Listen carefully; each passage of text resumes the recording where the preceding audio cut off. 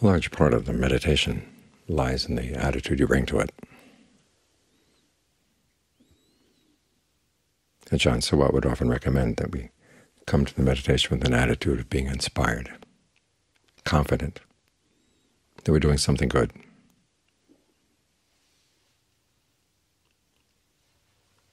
That we're fortunate that we have this opportunity to sit here and learn how to train our minds.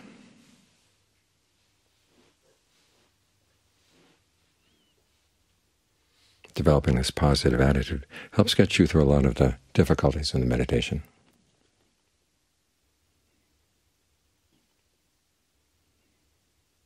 And it applies to the practice as a whole. We know that the Buddha, in terms of generosity, would say that you give where you feel inspired.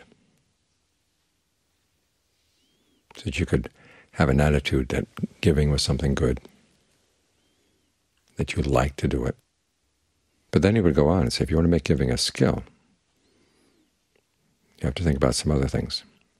And one of them is the attitude you bring to it. You give with a sense of respect, with a sense that something good is going to come out of this. You don't just go through the motions. And it's that attitude that makes the giving meritorious.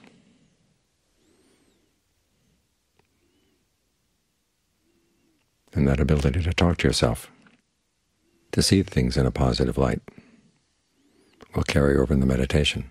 It's the same with the practice of the precepts. If you see them simply as confining rules, there's not much merit in observing them. It's better than not observing them. But the quality of merit is this sense of refreshment, satisfaction, a sense of gladness that you're able to do something good. Here we are, we have this human birth. Human beings can do a lot more good and a lot more evil than other beings. And the fact that we're taking advantage of this opportunity to do good. We should appreciate that. We should be glad we have the opportunity and want to make the most of it.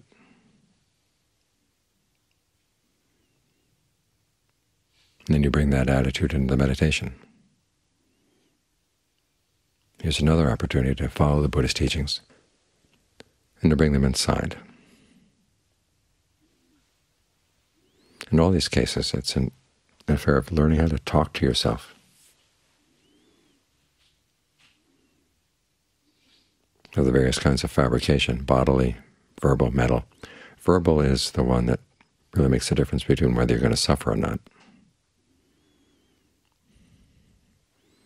It's possible to sit here with the breath not being very comfortable. But if you talk to yourself in the right way, you don't let it get you down. Weird perceptions can come up in the mind.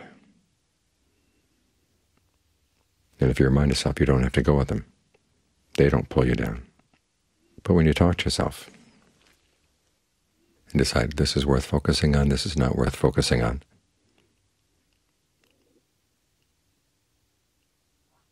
This is worth doing, this is not worth doing.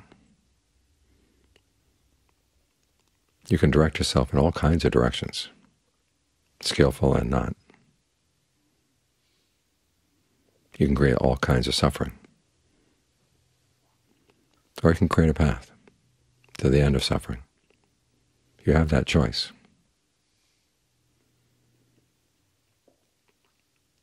Of course, what inspires how you talk to yourself is the attitude that you bring to it. This is why we have those chants at the beginning. Reflection on the requisites. Here we are using food, clothing, shelter, and medicine that we've gained from other people. We're in debt. How do we pay back the debt? Well, by practicing. We also realize that no matter how lightly we try to tread on the earth. The simple fact that we're alive as human beings means that we place a burden. It would be good to get out of that burden. Good motivation to practice. We have the chance and goodwill, compassion, empathetic joy, equanimity. We're showing goodwill for ourselves, goodwill for others. It's good that we're able to do this, to develop an attitude of goodwill that's universal, by looking for happiness in a way that doesn't cause anybody any harm.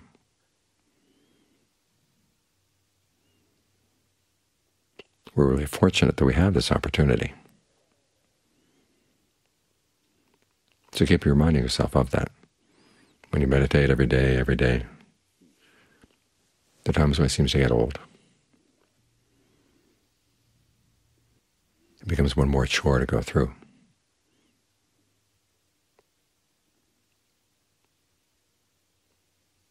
That attitude makes the meditation seem old.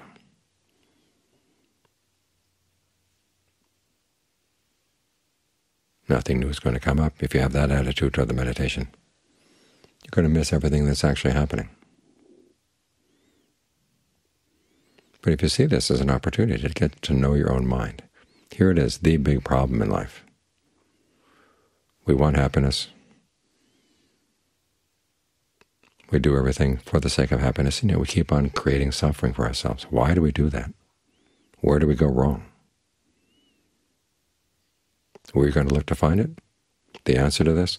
Right here, in the way the mind talks to itself. What it tells itself is right. What it tells itself is true. What it tells itself it's worth doing, and not worth doing. You will see it as it's making its choices. Why does it make a particular choice? What are your intentions? How does an intention get formed to begin with? Here's the power that shapes our lives. And again, it's hidden in shadows. It's down in the basement.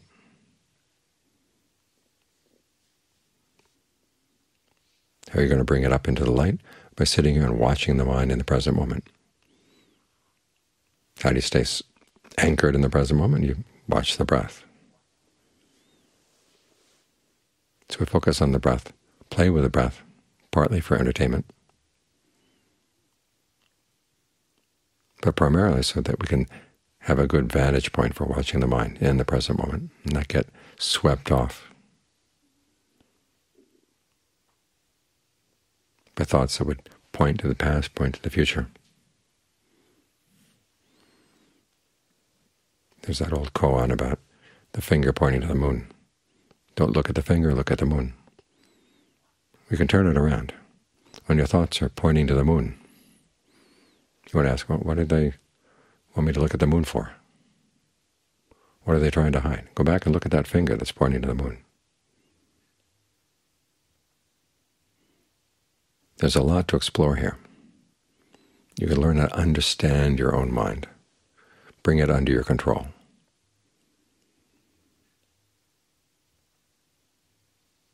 And the opportunity to do this is really precious. So when you picked up that attitude of seeing generosity as an opportunity, seeing your ability to hold to the precepts as an opportunity, have some enthusiasm for it.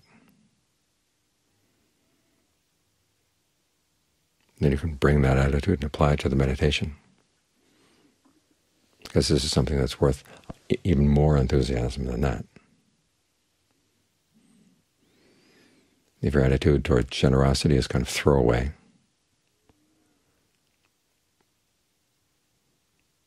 when you think of the benefits that come from observing the precepts and you throw them away, well, you're going to throw your meditation away. And you develop a throwaway mind. You have nothing good left. But if you learn appreciation, for opportunities to do good, to find happiness in a way that doesn't harm anybody, to find happiness in a way that leads to long-term well-being.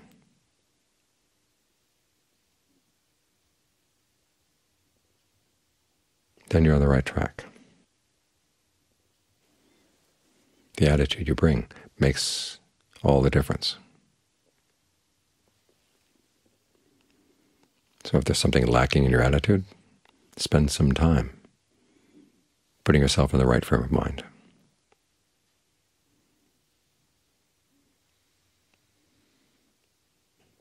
Because it's the frame of mind that determines how much happiness you're going to get out of this, how much energy you're going to put into it.